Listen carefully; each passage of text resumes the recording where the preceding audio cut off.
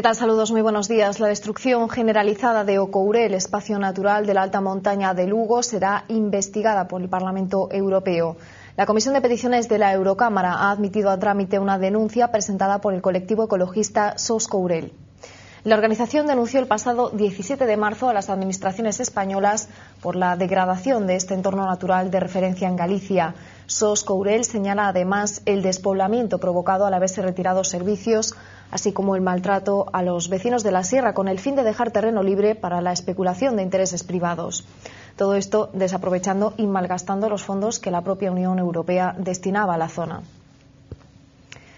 El aeropuerto de Vigo superará los dos millones de pasajeros al año tras las obras de ampliación. Entre los grandes retos está la prolongación en 300 metros de la pista y una nueva vía. El plan para el aeródromo contará con una inversión de 183 millones de euros, pero lo cierto es que Peinador hace tiempo que puso en marcha la construcción de un gran aparcamiento. Además, el aeropuerto contará con un nuevo edificio de la terminal, con capacidad para 4 millones de pasajeros al año.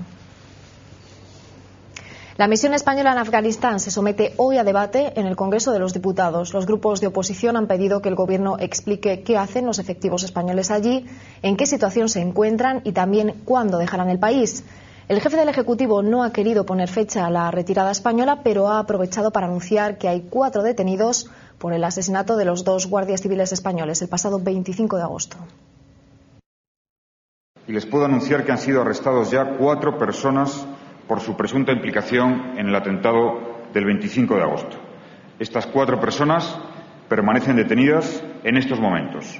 Debemos permanecer en Afganistán, asumiendo las actuales responsabilidades, mientras sea necesario, mientras estén en peligro la seguridad del país y de la región, la seguridad global y la seguridad de los españoles.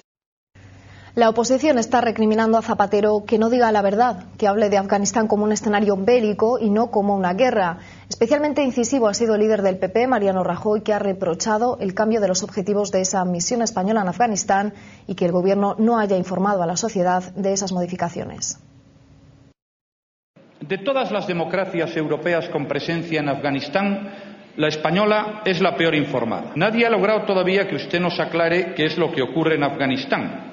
Si yo hiciera esta pregunta fuera de España, la respuesta sería unánime. Todo el mundo dice que es una guerra. Lo que queremos saber es toda la verdad, con claridad, en lo que se refiere a la seguridad de nuestros soldados y de nuestros guardias civiles.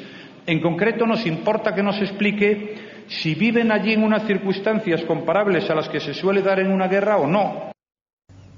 La Confederación Española de Organizaciones Empresariales, la COE, aborda hoy la posición sobre la revisión de las pensiones, la huelga general y los presupuestos del Estado para el 2011 como temas principales. Díaz Ferran, presidente de la patronal, planteará revisar el Pacto de Toledo. En este sentido, solicitará que se alargue la edad de jubilación, así como los años de contribución para calcular la cuantía de la pensión. El documento elaborado por la cúpula de la patronal no determina los años de ampliación, pero todo indica que respalda el proyecto del Gobierno de elevar la, jubilación a los 67 años y el periodo de contribución a los últimos 20. Hablamos ya de deportes muy arropado por los aficionados holandeses que le acompañan en su visita a la capital española. Así prepara el Ajax de Ámsterdam su partido de Champions frente al Real Madrid. Hoy debuta el conjunto de José Mourinho en la máxima competición europea. El técnico portugués va por su tercer título y al Madrid le gustaría levantar su décima orejuda.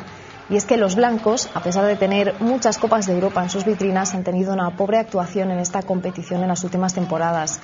No estará con los holandeses su gran referencia en ataque, el ariete uruguayo Luis Suárez, por acumulación de tarjetas tras la disputa de la fase previa de la Champions.